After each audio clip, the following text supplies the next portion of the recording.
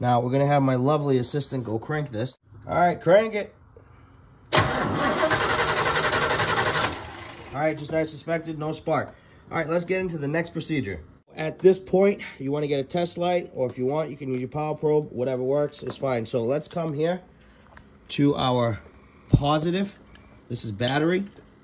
And we're to unplug our 12 volt source that is feeding our ignition coil. And what we're going to do is we're going to make sure that we have battery voltage. We should see the same exact battery voltage here as it is on the battery.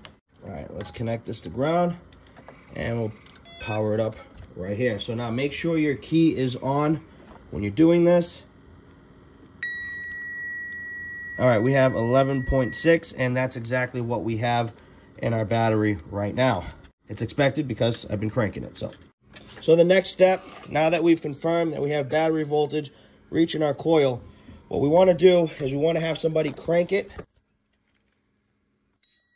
and monitor what voltage we're getting.